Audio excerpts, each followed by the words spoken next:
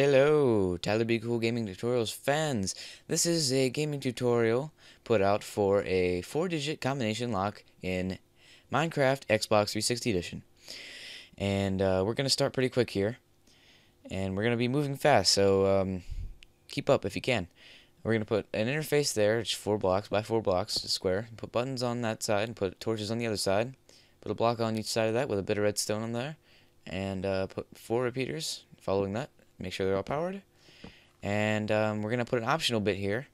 This is for um, note blocks that we're actually going to have a little bit of sound. Nice touch there. And um, if you don't want the note blocks, then you just don't have to dig the extra trench. You can just follow the two trench, the trench after this, and uh, as long as you have four trenches, you're good. So um, we're gonna just have this demonstration be put out with the note blocks, but I'm just gonna demonstrate real quick how it would look like if you wanted to skip out on the note blocks here. So you're just going to dig out four trenches like this. There's three, and there's four.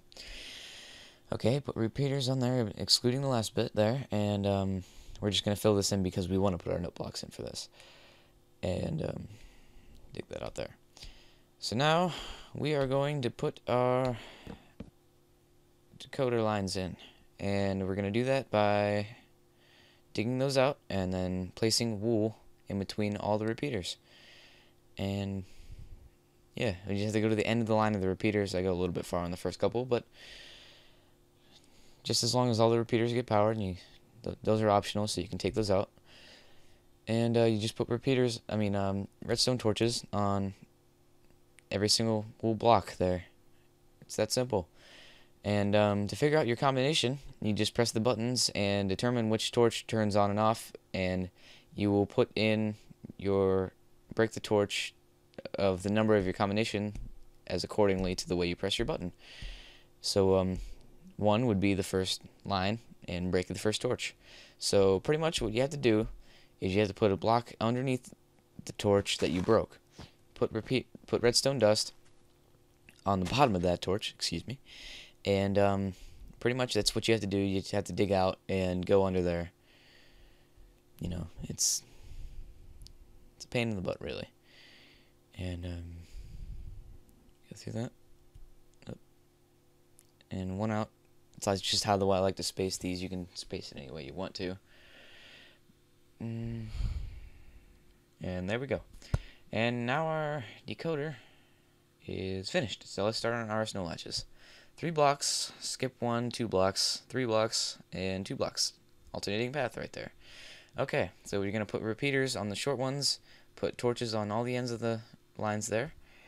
And now we're just going to start on our snow latch. So two up there in front of the wool blocks there. One short one in the back. Break the bottom ones. And uh, I'm just going to put redstone uh, all the way down these lines. And uh, we're going to put torches on the end of the, all of these blocks. We're going to put torches on the end of these blocks. Repeaters under here. And we're going to put redstone on the back of these. And uh, now we have to put our AND gates in. We're going to do that by placing three blocks like that, putting redstone on top, or yeah, putting redstone on top, and then placing our torches in the middle. And then we're going to dig one block down until the block before our torch on every line. And then we're going to place some redstone in front of the torch, and on the last block that you dig up, you have to put a repeater there before you torch. Super simple, really. You put a bit of redstone in uh, beside of all your inverting torches there, and uh, put a block on top of all the crosses that make connections that you don't want. And that is your RS NOR latch done. And that is your input for anything that can be run through redstone. We're going to be using an example of a piston and uh, we're gonna go to how how to put our reset lines in.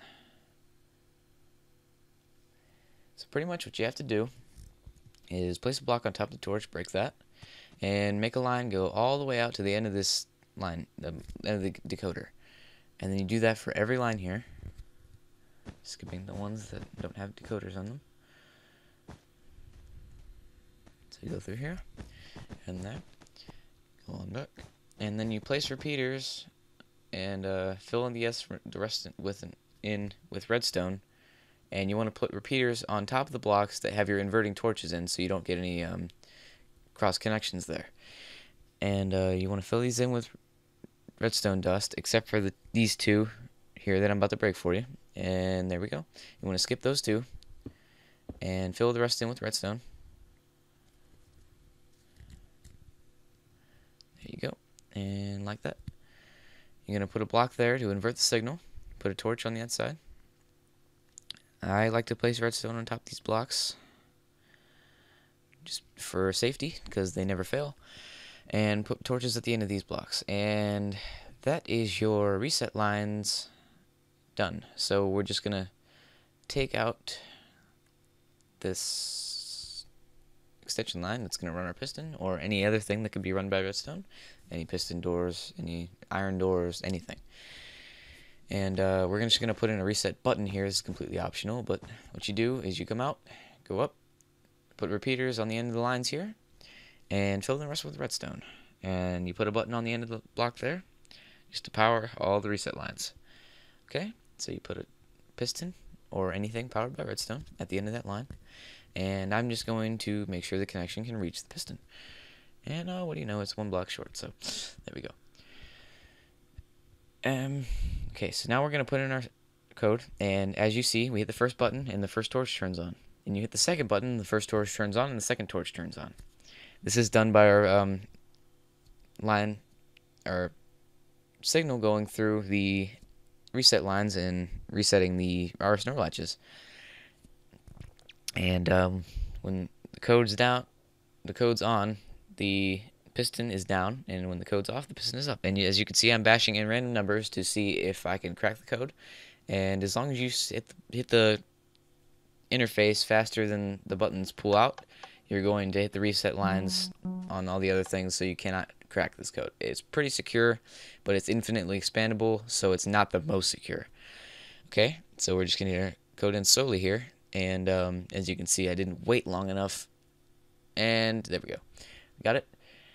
Okay, and that is my 4 but four button combination lock in Minecraft Xbox 360 Edition. Um, thank you for watching.